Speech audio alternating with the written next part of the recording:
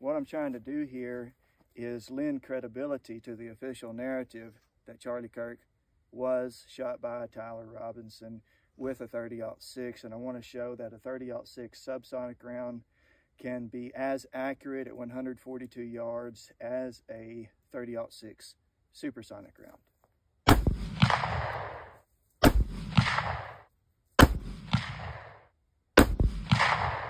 30-06 subsonic rounds.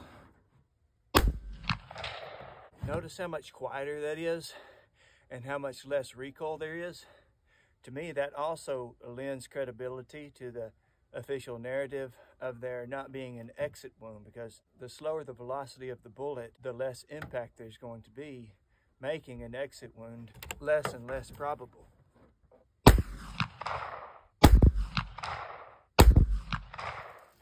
So up here at the top, we have my four supersonic rounds. Down here at the bottom, ignore this one. That was from uh, some previous shooting. We have one two three and then i hunted around and found my fourth subsonic round right under there. I was aiming at the same target. Uh, just wanted to show how much droppage. Keep in mind though that droppage can always be accounted for by just adjusting your scope. And i just wanted to show you that it is possible that the official narrative is correct because the subsonic round was at least as accurate as the supersonic rounds. And I just wanted to make this video to just lend a small contribution to the narrative because I know many of you out there feel the same way.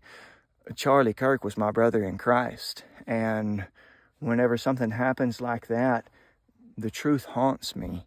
And I want to get to the bottom of it. And I want to, I want to figure out you know, all the details. And as a Christian, I should want the truth above all else because Jesus said, I am the way, the truth, and the life.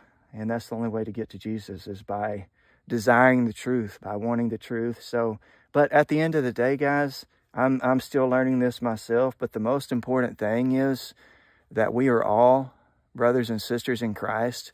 Whatever we believe happened in this situation, the anger out there that I see, I finally come to understand is because everyone thought so much of Charlie Kirk. And so, so it's understandable. But at, at the end of the day, just let's remember we're all on the same side. We all love Jesus and follow after, after Jesus. And we know that God is our creator.